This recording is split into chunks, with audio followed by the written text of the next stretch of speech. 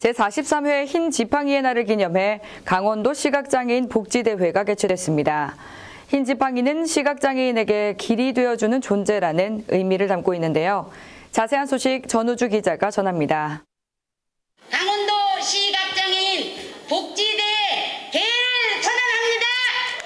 단상에서 사단법인 강원도 시각장애인연합회 원주 지회장의 개회사로 제43회 흰지팡이 날 기념 강원도 시각장애인 복지대회가 시작했습니다.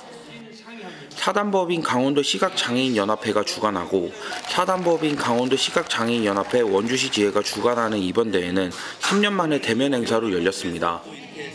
시각장애인이 길을 찾고 활동하는 흰지팡이를 시각장애인이 마음 놓고 활동할 수 있는 권리를 보장해주는 표시로 삼아 전 세계 모든 곳가는 10월 15일을 흰지팡이의 날로 지정했습니다.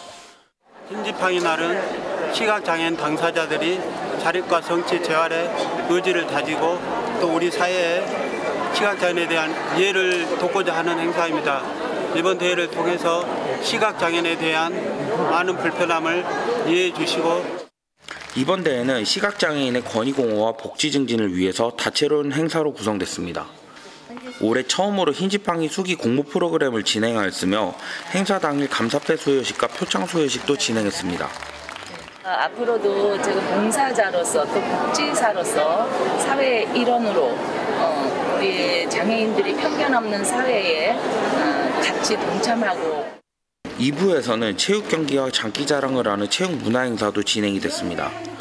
지난 5일에는 원주시청 앞에서 시각장애인 인식 개선 캠페인 및 길거리 행진을 진행했습니다. 제43회 흰지팡이의 날을 맞이해서 진행된 대회가 모두가 시각장애에 대한 인식 계몽의 계기가 되는 날이 되었습니다. 복지TV 뉴스 전우주입니다.